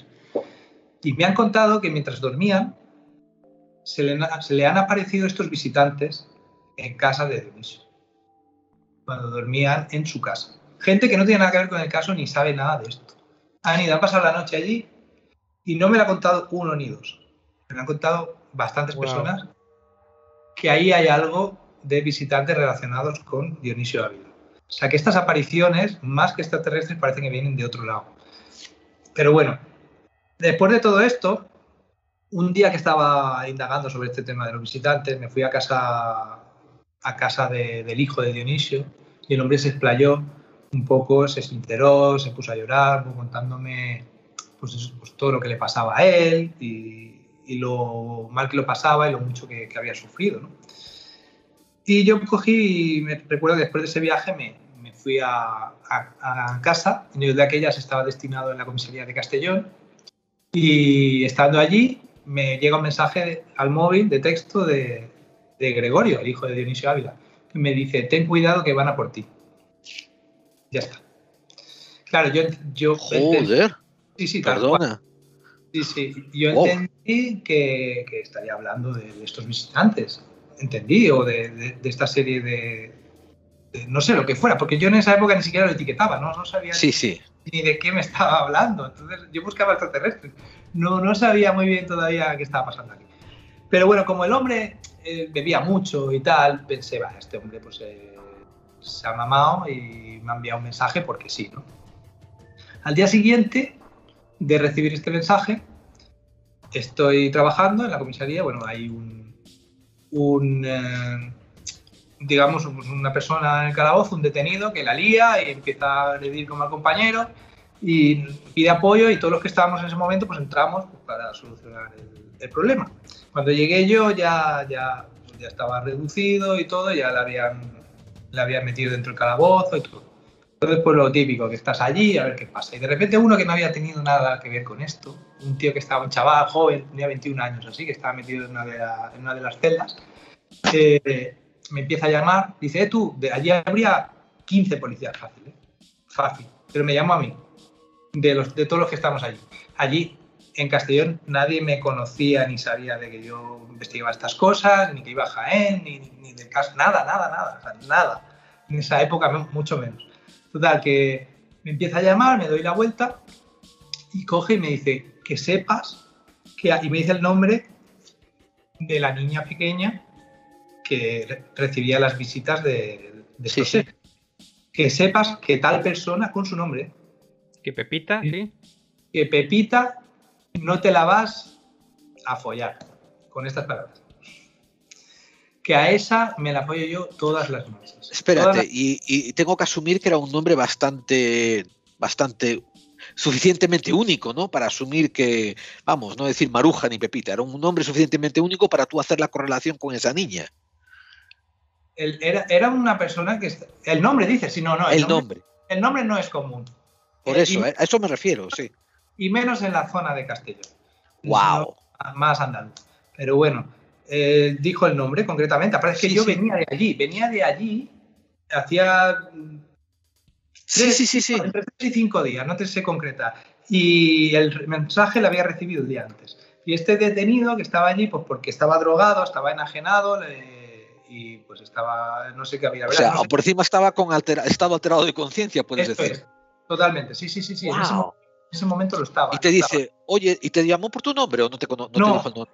No, No, no, no, te no. dijo, oye, tú, eh, fulanita no te la vas a follar, que esa me la follo yo todas las noches. Eso es. Esa me voy yo todas las noches. Dice, como diciendo, yo estoy allí todas las noches. Y se empieza, y de Wow. repente se sube en la puerta y empieza ¡pum! a darse cabezazos.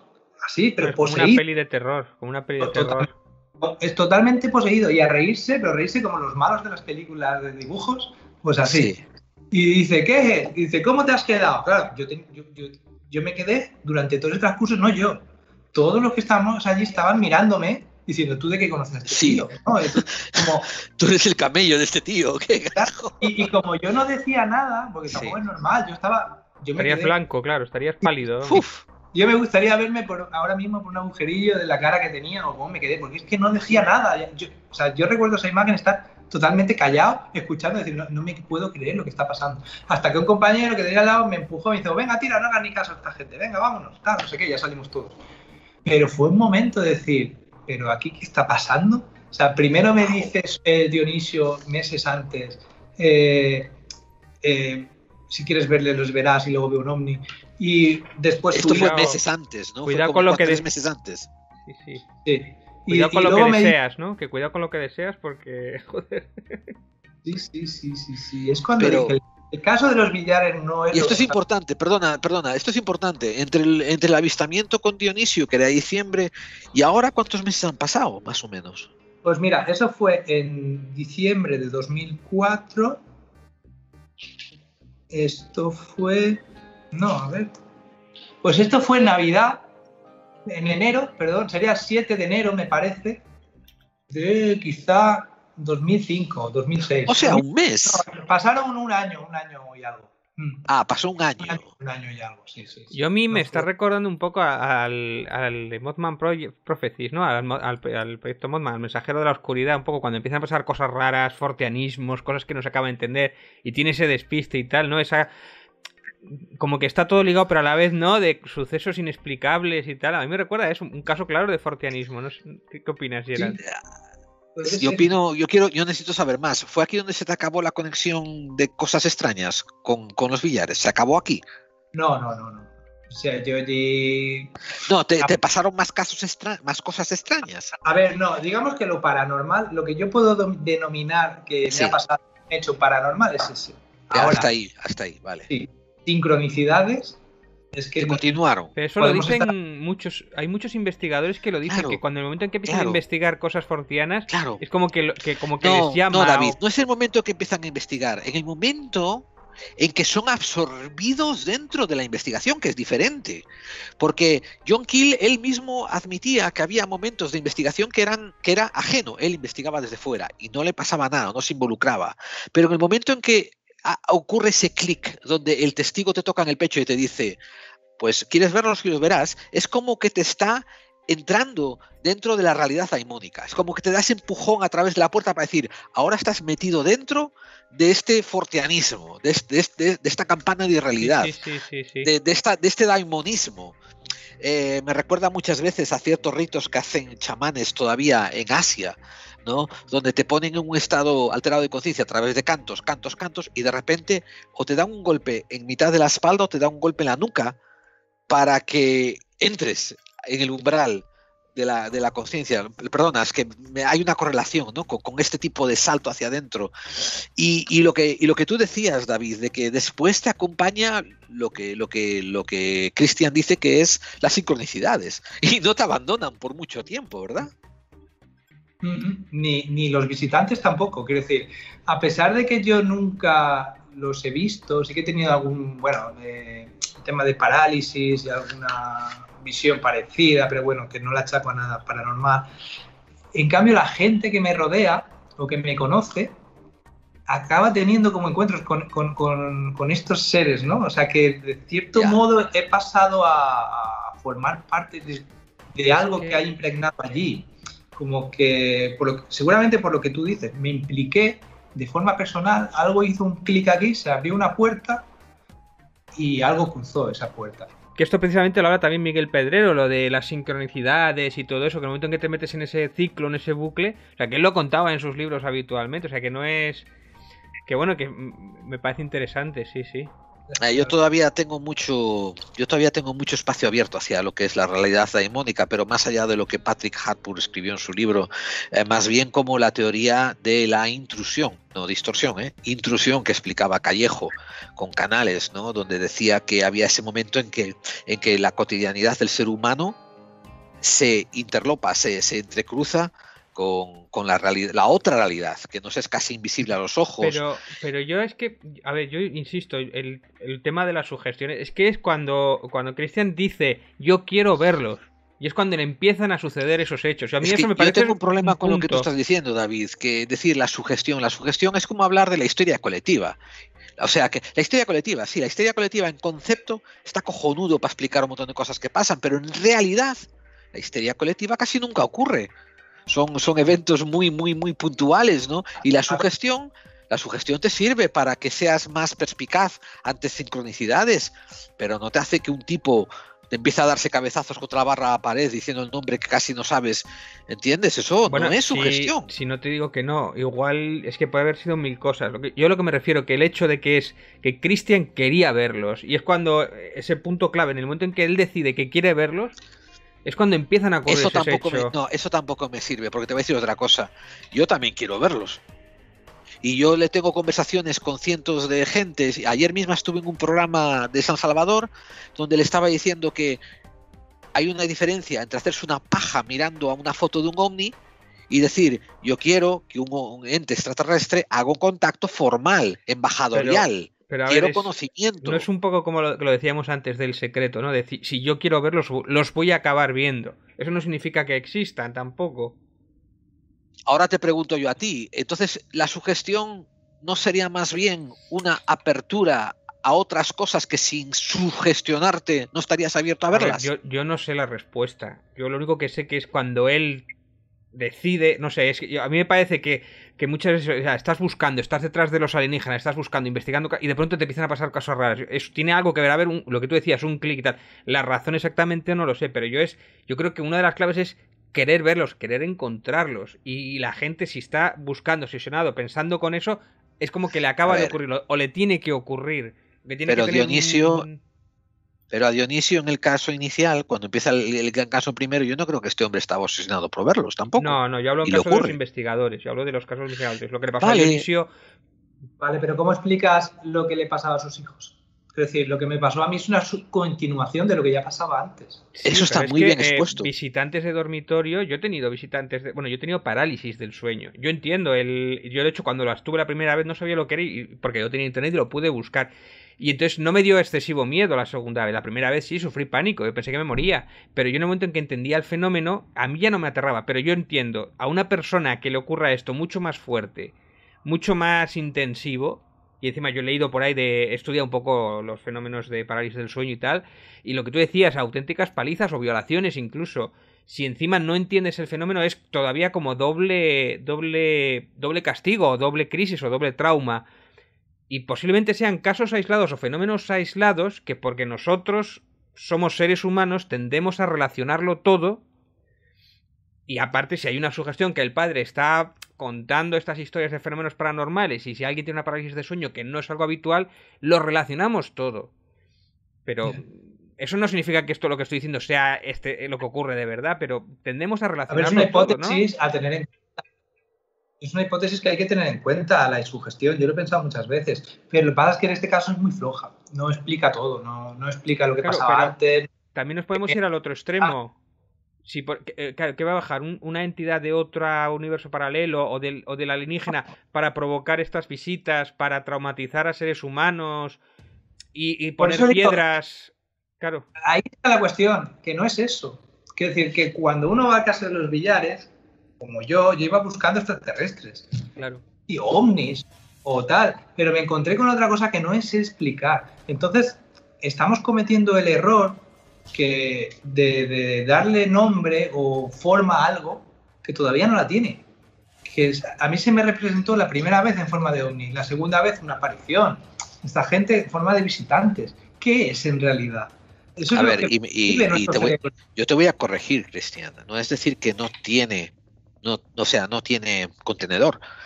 Eh, yo creo que yo creo que a lo largo de la historia de la humanidad ha tenido muchos contenedores dependiendo del momento cultural por el que viven. O sea, y esto es algo que, como digo, como te dije antes, David, dentro de dentro de la taxonomía de Patrick Harpur, él ponía en la realidad daimónica usando una referencia antropológica de las hadas, pero tiene mucho más. O sea, antes de haber hadas había contacto con dioses, antes de haber contacto con dioses habría contacto con, con divinidades o con entidades que representaban los elementos. O sea, como e, esto está bien no encajarlo, no está bien no encasillarlo. Y como dice, y te doy la razón, David, de que muchos investigadores barran para su casa. El que quiere ver ovnis se enfoca en ovnis, el que quiere ver extraterrestres se enfoca en extraterrestres y, empieza a ver cosas que le caen tornillos y cosas así. Pero si, si tienes la mente abierta, encuentras patrones de fenomenología. Y te repito, yo soy muy cauteloso de usar cosas como sugestión colectiva, o, histeria colectiva. Cuando yo hablo de esto, no, significa que yo lanzo una teoría, yo no me cierro. Yo, si, alguien me encuentra otra teoría mejor o encuentra pruebas o tal, yo soy el primero que me acojo de yo. Digo, esta teoría que me parece la, la que puede ser, que si alguien me descubre que, que de verdad va ahí algo más, por supuesto que me, Y de hecho estoy deseando encontrar una teoría que, la diferencia ¿eh? Está, es que la diferencia está en que te llega un niño a un consultorio de un psiquiatra y va todo magullado y la madre dice, no estuvo con nadie eh, durante las tres horas que se hizo el magullamiento y el, psiquiatra es capaz de decir, bueno, es su gestión psicosomática, él se le imagina y le salen los magullamientos. Hay un fenómeno que se llama, eh, ¿cómo se espérate, y déjame acabar, que, que el tipo, el tipo, el psiquiatra está barriendo para su casa aplicando las tres lentes que él conoce a la cosa y alguien se lo compra. Y esto se trata de decir, hay unos paralelismos y a lo mejor la causa no es el resultado. Quiero decir, a lo mejor eh, al querer decir que esto es su gestión colectiva, lo que estamos haciendo también es un reduccionismo, cuando en realidad lo que hay es que eh, gente es expuesta a los mismos contextos y le ocurre una fenomenología común. Ahora, te doy paso a ti. Te digo, mira, es que precisamente en el Celsius había una de las escritoras que hablaba de que ella desde muy pequeña tenía un... le pasaba esto, de parálisis del sueño y añadía alucinaciones iluhipnóticas. ¿Eso qué significa? Que ella, por ejemplo, estaba en este periodo de duerme-vuela y de repente, estando ella sola, tenía como que alguien le daba una colleja o le daba un golpe en la espalda y es porque eh, tuvo que lidiar con eso hasta que entendió y llegó a una psiquiatra, a un psicólogo que le contó ese fenómeno, que, que no es tan raro que pasa, ¿no? Tienes la sensación de que alguien te ha tocado.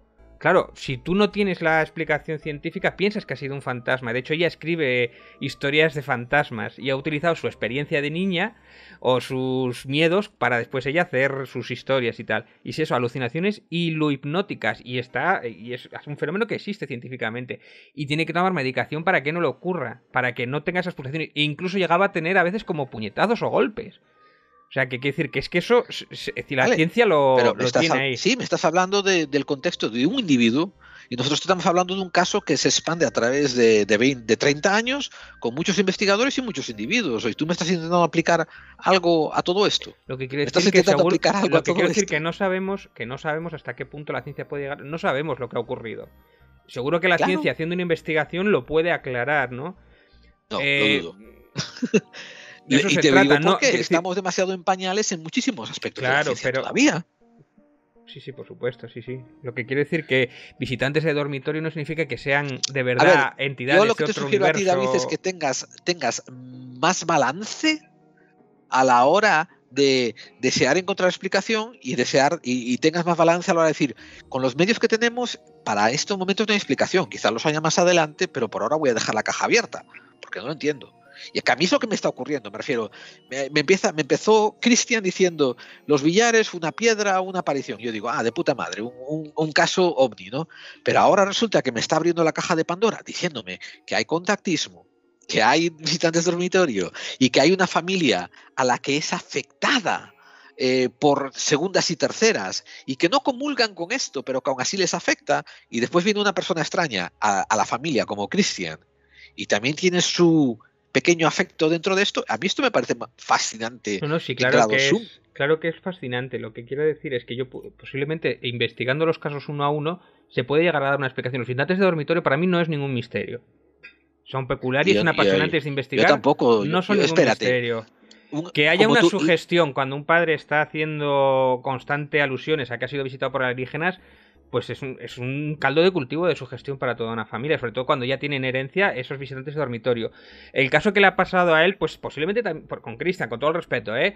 posiblemente estuviera bajo esa sugestión. O no, igual no, simplemente fue, fue una casualidad o lo que fuera. Pero quiero decir, yo cuando cuando todas las explicaciones que no puedo dar científicas no, no le puedo dar una explicación a algo, entonces cuando podemos pasar a hacer algo paranormal o investigar algo paranormal. Como decía Sherlock Holmes, pero a, mí dame, por ejemplo, una prueba en plan, dime una yo no información. Te estoy entrando en el ya, ya. Pero espera, que termino. Yo no te estoy entrando en el terreno paranormal tampoco. Yo te estoy diciendo que hay otro campo que no es ni paranormal ni ufológico, que sería algo inexplicado y no me digas que, está explicable esto, porque yo te estoy desmontando cada vez que me lo tiras. Que sea peculiar, que sea interesante, sí, yo, creo que sí que se puede explicar. o sea, hay cosas aunque no lo crean, estamos hablando con nuestro invitado Cristian Puig. Lo, que...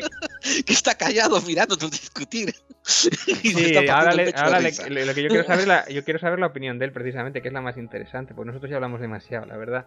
Pero bueno, ¿qué decir? Porque a eso Pero solo quiero, solo quiero eh, una frase y termino. Quiero decir que a mí me interesan sobre todo los casos eh, paranormales o los casos de visitantes en los cuales, que por cierto creo que no hay ninguno, tienen información que no puedan haber tenido de otra forma, ya sea científica o sea de fenómenos eh, que vayan a pasar en un futuro o, que hayan pasado antes pero que no puedan tener de otra manera. Esa información que alguien externo con una inteligencia exterior le haya dado y esa persona no haya podido tener. A mí me interesan mucho esos casos porque explicarlos es muy difícil.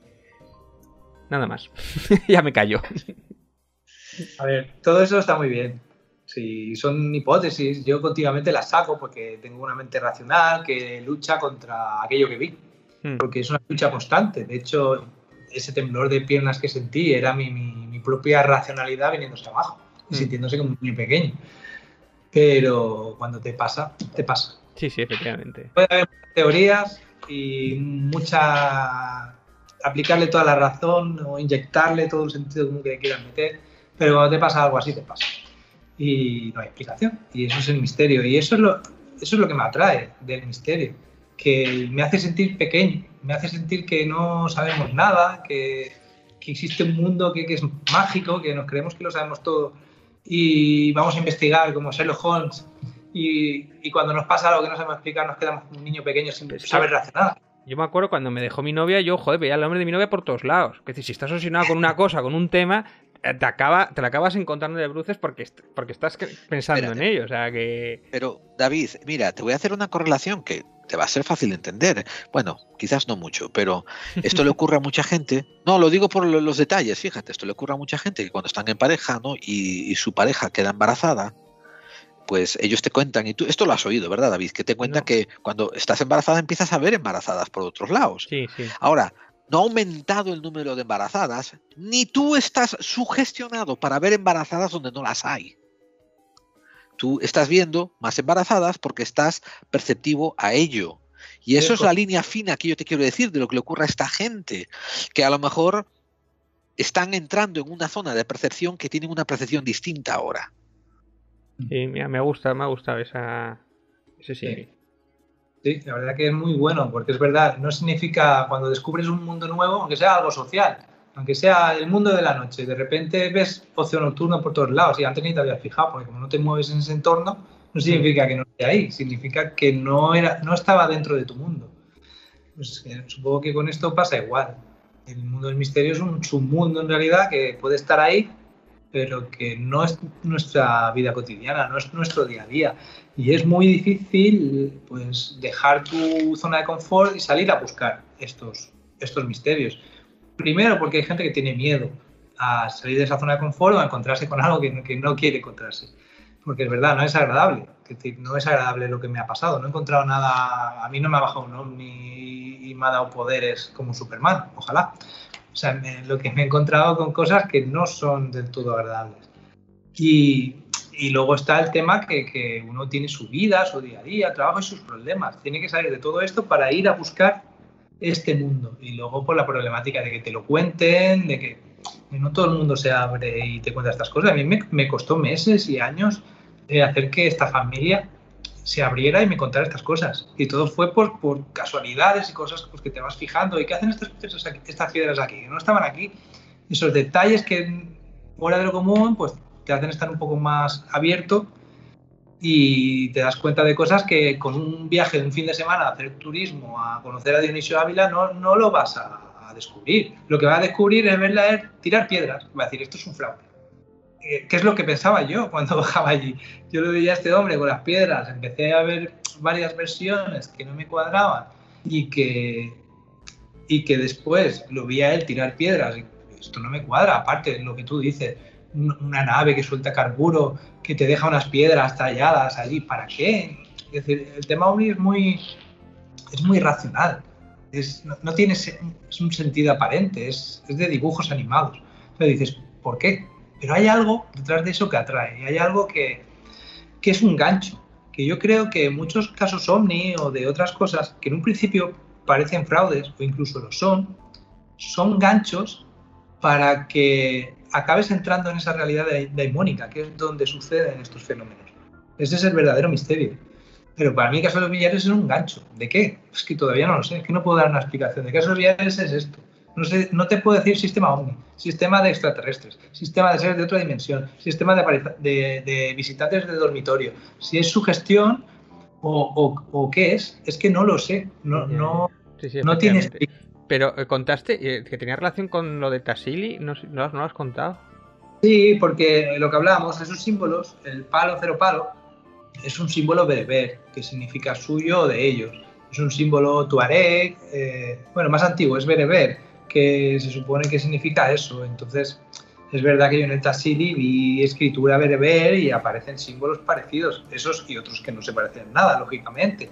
Pero, luego, pero también es un código binario o también es, es, cualquier cosa, ¿no? Entonces, eh, relacionar eso con las pinturas del Tassili, que no digo que no, que yo fui por eso.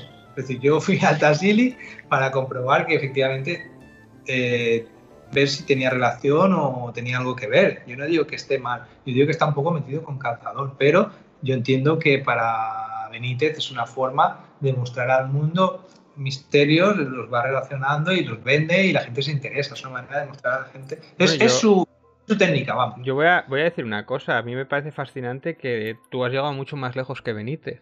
O sea, tú has llegado a, O sea, has con la familia tal. O sea, él también ha estado allá, pero él no llegó a, escribir nada de esto. Bueno, si lo llegó a descubrir, hubiera hecho eh, nueve libros y un spin-off.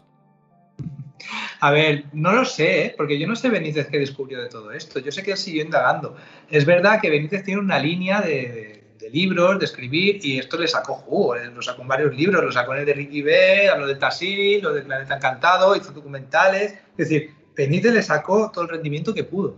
Si él luego se percató de más cosas o no, de visitantes, o llegó a las mismas conclusiones que yo, no lo sé, porque no tiene por qué sacarlo todo a la luz. A lo mejor eso no es tan vendible.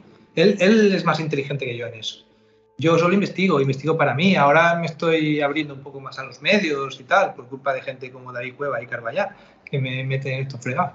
Pero yo en realidad solo me dedico a desde hace, fíjate, desde el 2004 a investigar esto. Ahora es cuando estoy hablando de estas cosas. Porque, y me gusta, sí, es bonito eh, hablar, sacarlo a la luz, pero lo que a mí me apasiona, lo que me interesa es investigar. Y seguramente a Benítez también. Benítez no cuenta todo lo que, lo que saca. Lo que pasa es que saca lo que puede vender o, que la gente o que la gente quiere recibir, que eso también es otra cosa. Con política pasa mucho. Los políticos dicen a la gente lo que quieren oír porque es lo que vende. A lo mejor pueden hacer políticas más, realistas, pero no. Están de moda, se ponen de moda unos movimientos y hacen políticas de eso. Y lo mismo pasa eh, con, con, Benítez, seguramente, eh, que no lo sé, que a lo mejor eh, él investiga un caso, pero la gente que quiere ovnis y naves espaciales y, hipótesis extraterrestres, que es lo que se había llevado por lo menos hasta ahora, ahora ya van cambiando las cosas. Entonces, yo, eh, yo, este análisis que te, yo este análisis que te doy de Benítez no es completamente exento de malicia, ¿eh? o sea que no le veas ninguna, ningún ápice de veneno, ni de, ni de, mala intención, pero yo creo que, que, JJ sabía, entendía muy temprana, muy temprana edad, que con la popularidad pues le daba no solamente un respiro económico, sino que también le dejaba dirigir sus investigaciones hacia donde quería. Entonces, supongo que, después de sus 20.000 kilómetros tras los ovnis y sus grandes libros recopiladores de casos, ¿no? cuando lanzó el, el caballo de Troya y sacó dinero y fama, se encontró en un estadio donde pudo hacer unos experimentos, o sea, unos experimentos mediáticos que más le gustó, como Planeta Encantado, ¿no? Y tal.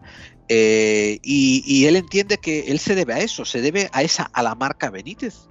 Y la continúa, y continúa produciendo para ella, ¿me entiendes? O sea, en ese contexto.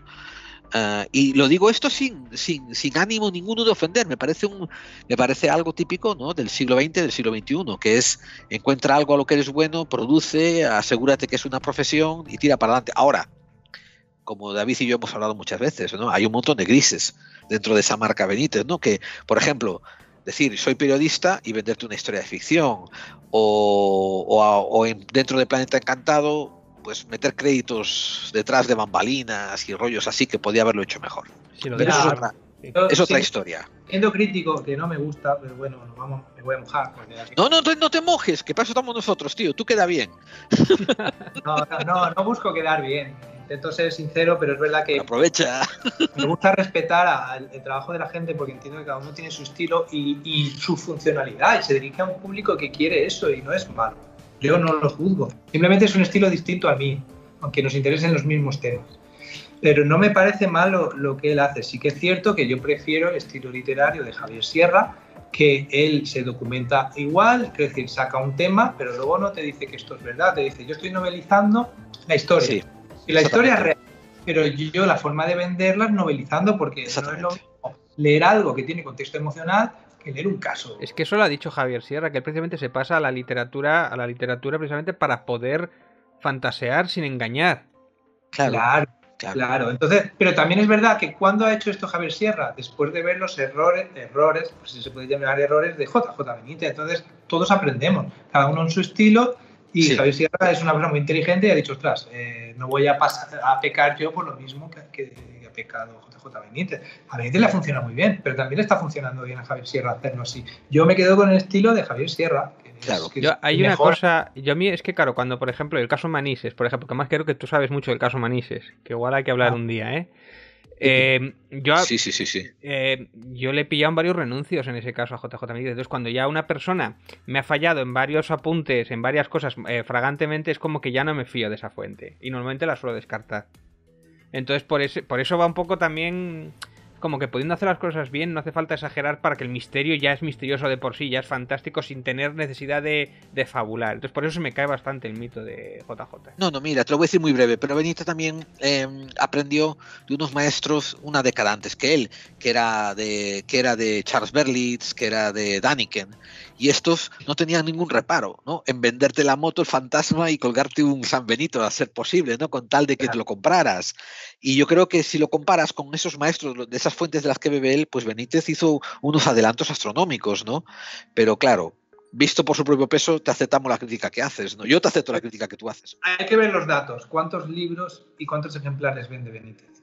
Es decir, que eso es admirable hoy en día ¿eh? incluso, ¿eh? decir que es admirable y eso no se puede... Y, luego bebiendo, como tú dices, de esas fuentes que no era lo mejor. Pero bueno, la Biblia también vende mucho, pero no me vale como fuente histórica o como fuente fidedigna, a eso me refiero, que lo puedo tener en consideración o me puede interesar para yo hacer ciencia ficción incluso, pero hay que tomarlo con. Quiero decir, que yo siempre lo tomo con cuidado. A ver, viene de JJ, de, viene, viene de JJ, la fuente viene posiblemente contaminada, por eso me refiero. Pero bueno. Mira, yo tengo una investigación con, con esto es una curiosidad, con que llevo muchos años, con, pero en plan anécdota, en plan gracioso, ¿no? Con mi hermano y con mi primo, que nos gustan estos temas, y vamos a Benítez y tal, y tenemos investigación que llamamos Operación Salmón. Y es investigar los caballos de Troya que qué puede haber de verdad, qué de mentira sobre la parte de los tiempo, de dónde se ha podido basar, qué, en qué personajes históricos está basado, si Richard Feynman, no sé qué. Bueno, hemos sacado varias conclusiones. Y una de las investigaciones más importantes que hicimos fue, eh, si queréis podemos hablar de esto. Sí, sí, por lo que sea me interesa. Porque o sea, mi primo ha sacado un libro de esto y todo. Ah, sí, qué casualidad. No, sé, si sabéis que, que sí, como tú, no sé si sabéis que que en, el Día del Relámpago, que es, digamos, el, el 11... El spin-off, es, el spin-off. Caballo de Troya, el spin-off. Eh, hay un accidente de avión, que se estrella un avión donde iba... Cuidado, spoilers. bueno, es, como la escena de Dog cuando le cae el rayo al DeLorean y sale, volando. Pues lo JJ le pasa algo parecido. Sí, algo así. Pero digamos que en ese libro hay, hay un. O sea, en ese libro, pero sí, en el libro de Benítez se estrella, que eso es un caso real, se estrella un avión en España, en Guadalajara, eh, donde muere supuestamente el general Curtis y varios directivos de Caballo de Troya. Eh, eso pasó en el 73, ¿no? Pues nosotros investigamos ese accidente y sacamos todo lo habido y por haber, que es impresionante el trabajo de investigación que hicimos y contrastamos con el libro de Benítez. ¡Wow! Menuda exclusiva, oye. Hombre, eso hay que hacer un programa de esto porque Venga, venga, venga, venga, quedamos concertados. Fijaros, voy a hacer un... Cristian nos pone los, los, dientes largos, ¿eh? Eso se vende muy bien, sí, está bien, ¿eh? Cristian, eso es de malvados, hacernos así, va a tío. En YouTube tengo un, documental que hice un poco magufo en, en, su época, donde investigaba este caso, junto con mi primo y mi hermano. Se llama El héroe de Hueva, el documental. Mi primo también hizo un libro que ya tituló Los héroes de Hueva, porque, bueno un caso muy, muy curioso que podemos hablar si queréis. Eh, vale, mira, Cristian, Cristian, esto te voy a emplazar entonces para un programa donde nos vas a, dar los pormenores de tu investigación. Creo que esa investigación que has hecho con tus familiares, estás invitado a traer a alguno de ellos si quieres al programa también, ¿eh?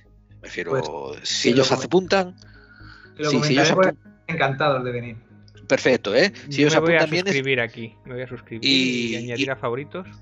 Y nos, y nos relatarás un poco el progreso de esa investigación, que descubristeis, que no descubristeis haciendo este contraste de los apuntes de Caballo de Troya. Esto va a estar fabuloso. Os va a gustar, es muy vuestro estilo, ¿eh? Ojalá que coincida con, ojalá que coincida con el lanzamiento en Amazon del libro El caballo de cartón. cualquier día de estos, cualquier día de estos tiene que salir. A ver, permitidme hacer un resumen. Eh, aquí hemos tenido con nosotros a Cristian Puig Sanz, que nos ha empezado a contar el caso de los billares, y empezó haciéndonos una narración de lo que parecía un caso de contacto ovni.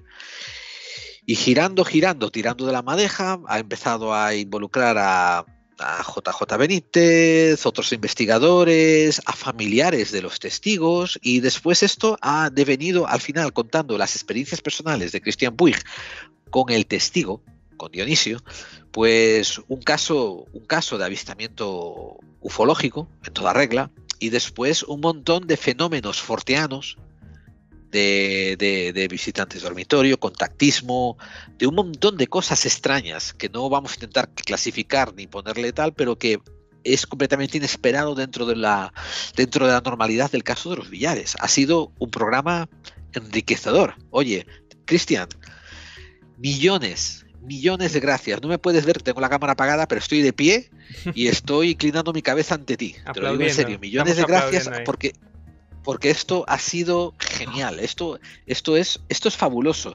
Y sobre todo la sangre fría que has tenido de la manera de contarlo, me refiero sin apasionamiento, diciendo, no sé lo que es y, lo admito, no sé lo que es y no sé por dónde voy. Aún así cuando nos veías a David y a mí, ¿no? Tirarnos de los pelos, no, que esto es su gestión colectiva, no, que no lo puede ser y no sé cuánto y tal. Y, tú ahí calladito, riéndote, mirando a estos dos payasos y tal. y tal. Eh, espero que lo hayas pasado bien, espero que hayas estado cómodo con nosotros, Cristian.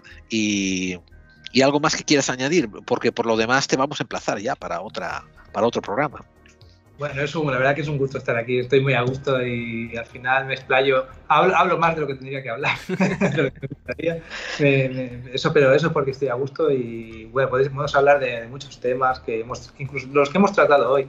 del tema de Ricky B, que también he investigado mucho el tema y también hoy lo hemos mencionado y se podría, se podría ampliar mucho la información.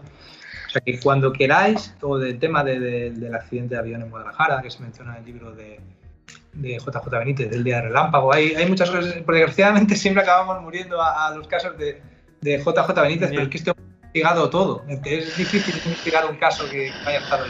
Bueno, yo creo que oficialmente ya te vamos a considerar parte del equipo, entonces. Recuérdate, David, ahora toca repartir los cacahuetes entre tres. Bueno, Cristian, una vez más, eh, o sea, a pesar de las bromas y de los chistes, de verdad es un honor y estamos muy agradecidos del tiempo que nos has regalado y la información que nos has dado. Yo me siento, y esto lo digo pocas veces, ¿eh?